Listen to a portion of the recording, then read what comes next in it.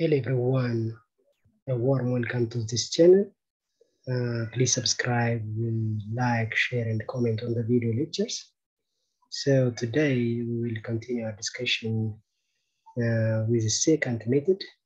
Previously, we have seen two iterative methods, which are bracketing methods, the bisection and the regular falsi method.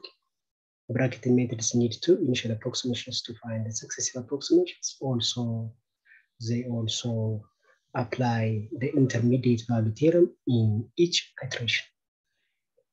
So today, secant method, which is another uh, iterative technique, uh, which is similar to the regular falsi method, uh, but it drops the condition that uh, f of x should have opposite signs at two endpoints to find the next approximation, which means that um, uh, we know that the regular falsi method applies the intermediate value theorem in each iteration, so which means the same to that one. Uh, this this part is the same to that one. It does not, so the secant method does not apply the intermediate value theorem in each iteration. Instead, it always um, uses the last two approximations or points to, to, to, to, to, to, to obtain the next uh, approximation. So if we have xn minus 1 and the xn um, are, are, two initial approximations, then we can find the next approximation xn plus 1 as using this uh, um, uh, using this general formula which is uh, given by xn plus 1 is equal to xn minus xn minus xn minus 1 over f of xn minus f of xn minus 1 times f of xn, where n start from 1 to up to um, infinity, where uh, we know that we stop at some point by looking the function, the absolute value, of the functional value, or the two successive, the difference between the two successive iterations. So geometrically, uh, the secant method looks uh, like regular falsi method, which means that uh, it uh, it connects the two points, the two functional values of the two points with a straight line, and the point where the straight line cuts the x-axis will be taken as the uh, approximate value, the approximate, the next approximate value of the uh, to the root of the nonlinear equation. So connecting these two points then we obtain we obtain this one then then then the functional value of this point becomes here then connecting this one and lifting x this this part to lifting this part and using x1 x1 and x2 then connect this one so that we get a second line but this second line does not cut the x-axis so instead to, to, to, cut that one we extend the line you can see from the red line uh, you get a point where it uh, we, we get a point where the next approximation is found. So this point is the next approximation. Then what would be the, its functional value? Then using that functional value and lifting this one, uh, lifting this one and using this one and this is the, the new the new approximate value. Then we connect by a green line, the green the green dotted line you can see. Then we get another approximation, another uh, approximation another approximation to the root. So you can clearly that we are approaching to the exact root. We are approaching to the exact root. So the um, secant method, uh, a secant method applies similar to the regular falsi method, which means that it connects the two points, but the, and, and, and the point where the, the line cuts the x-axis will be taken as the next approximation. But in a regular falsi method, uh, we always check the, the, the we always check whether the interval satisfies the intermediate value theorem or not. Instead, in a in, in secant method, we always use the last two points to find the next approximation. Um, and let's use an example. The real root of the equation f of x is equal to x cubed minus 5x plus 1, which is equal to lies in the interval 0 between 0 and 1. So even though it's not given, even though it's not given, um, it, it's, it's given, we can find the interval where the root lies by applying the intermediate value theorem. And it, we can see that the function is a cubic function, so it has three roots. It has three roots, and uh, we, have said that iterative methods determine one root at a time, so that uh, for simplicity, uh, the, the, question gives um, the interval where the root lies. So let's find what uh, let's find the root uh, in between 0 and 1 using secant method. So the uh, x, f of x naught is 1 and f of x1 is minus 3. Clearly you can see that uh, they are opposite so that there exists a root in between 1, uh, 0 and 1. So the first approximation will be x2 is equal to x1 minus x1 minus x0 over f of x1 minus f of x0 times f of x1, which is which is substituting those values, we get uh, x1 is equal to 0 0.2 and its functional value x2 which is equal to 0 point, negative 0 0.23437 and uh, we don't need the, the, the, the sign of f of x2 instead we need its value to complete the next iteration. So to complete the next iteration, we, we left we left x1 out and use x1 and x2 to complete x3. So x3, which is equal to x2 minus x2 minus x1 over f of x2 minus f of x1 times f of x2. And substituting those values, we obtain x2, x3 will be 0 0.186441.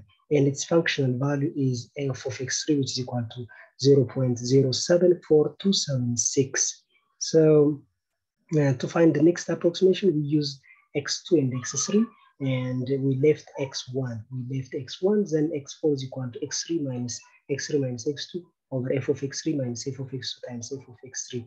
So substituting the values, we obtained x, x, x, x, x4 is equal to 0 0.201736, and f of x4 is negative 0 0.0007, negative 0 0.000470. So you can see from the functional values that absolute, absolute value of its functional value, the x, x4 is nearly, nearly, nearly zero, which means that we are approaching to the root of the uh, nonlinear equation, to the root of the nonlinear equation. So using x3 and x4 and lefting x2, we obtain x5, which is uh, x5 is equal to x4 minus x4 minus x3 over f of x4 minus f of x3 times f of x4. Then we obtain that uh, x5, which is equal to 0 0.20164 uh, zero. So you can see that the, the, the,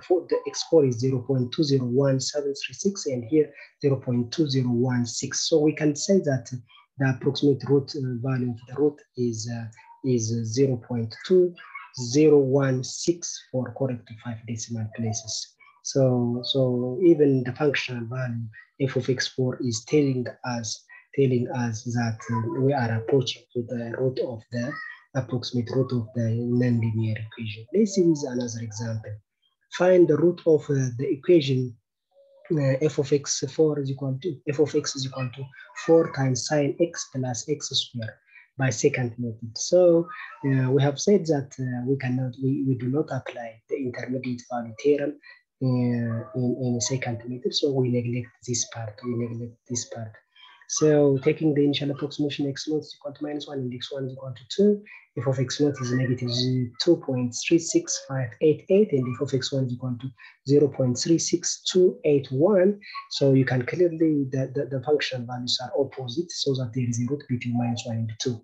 So using secant method, we can find the first approximation x2 which is equal to x1 minus x1 minus x naught over f of x1 minus f of x naught times f of x1, which gives uh, which gives negative 1.86704 and its functional value is its functional value is negative 0.33992 so but we don't need the sign of the function of uh, the new the new approximation but it's we need its value it's we need its value instead of its sign because secant method do not apply the intermediate value theorem at each iteration. Instead it uses the last two points to approximate the next iteration so that we, we left x naught and use x1 and x2 to compute x3. So x3 which is equal to x2 minus x2 minus x1 over f of x2 minus f of, f of x1 times f of x2 and it gives uh, substituting the values it gives that uh, negative 1.93135 is uh, the next approximation and its functional value is negative 0.01269 so by lifting x2 or by lifting x1, we uh, using x3 and x2, we can calculate x4. So x4 is equal to x3 minus x3 minus x2 over f of x3 minus f of x2 times f of x3. so substituting the values of uh, this, those we obtain that x4 is equal to negative uh, 1.93384 and its functional value is uh, f of x4 functional value is is, is negative which is 0 0.00045 yeah, and, and we, you can you can see that you can see that uh, we are approaching to zero because uh, it's it's approaching to zero. Where where it's, it's significantly small number so that we are approaching to the root. It, it tells us we are approaching to the root. So the next approximation x5 is obtained by using x4 and x3 by lifting x2 so x5 is equal to x4 minus x4 minus x3 over f of x4 minus f of x3 times f of x4 so substituting those values we obtain that uh, x uh, 5 is equal to negative 1.93375 and you can see that uh, by looking the two successive approximations x so the third and the fourth approximation you can see that they are nearly the same up to four decimal place when we are approximating to four decimal place they are nearly the same and the difference is uh, zero so that the approximate root to the approximate value to the root of the uh, nonlinear equation is uh, negative 1.93 three eight is um, the root to, to, to, to, correct to four decimal place. Now um, let's see the algorithm of secant method, the algorithm for a second. So we will start with initial approximations or inputs. So xn minus one, xn, f of xn minus one, and f of xn with a tolerance for the error difference, or we can say the rate, the degree of accuracy the degree of accuracy. It may be four decimal place, or it may be three decimal place, or it may be five decimal place. So then we compute using this initial approximation, we compute the successive approximations using the general formula xn plus 1 is equal to xn minus um, xn minus xn minus 1 f of x over f of xn minus f of xn minus 1 times f of xn. Now we compute successive approximations and we reach at some point where uh, the absolute value of xn minus xn minus 1 greater than 3 is that if it, this is greater than 3, if it is yes, then we leave x, uh, we, we leave xn minus 1 and compute xn minus 2 by using xn plus 2, by using xn plus 1 and xn, by using xn plus 1 and xn. If this one is, uh, if it is 1 is not satisfied, which means that the, the absolute value of xn minus xn minus 1 is less than epsilon, the desired degree of accuracy, if this is uh, less than the desired degree of accuracy, then the output will be xn, the output will be xn uh, plus 1 and we stop at that point. So this is uh, the algorithm for fixed for, for, for secant method.